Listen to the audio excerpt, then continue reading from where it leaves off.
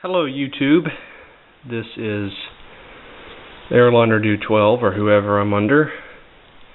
This is my newest contraption. I've had many more but I haven't made videos. Anyway, what this is, is a helium balloon. Helium balloon. Um, with a straw as a shaft and a classic science experiment where if you tape a balloon to the end of a straw have a 90 degree angle in the bend, it'll whiz around. And I said, I'll attach a wing to that. And um, I used my AP calculus skills to precisely determine the size of this wing. Not really, but um, it has a little bit of a pitch, and it's able to it's able to flex freely. So if there's any abrupt change, it will do whatever it wants to do. Anyway, uh, when this is inflated, the balloon, when it's big, will cause it to stay level. But then once you get, once this balloon right here gets smaller, the air coming out is fast enough to cause it to spin very rapidly and making the balloon go up into the foyer. So I'm going to show that to you right now.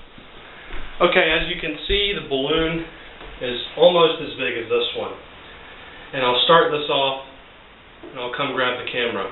But, okay, three, two, one. Oh, wait.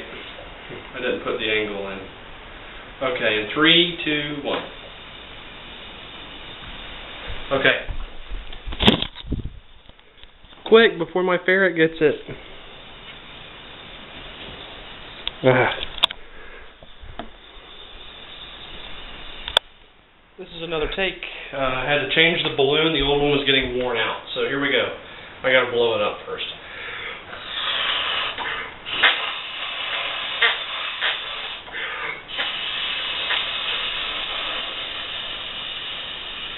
Okay.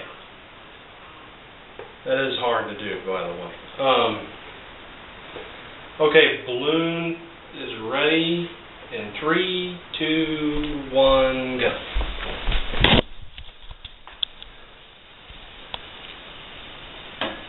Here it goes.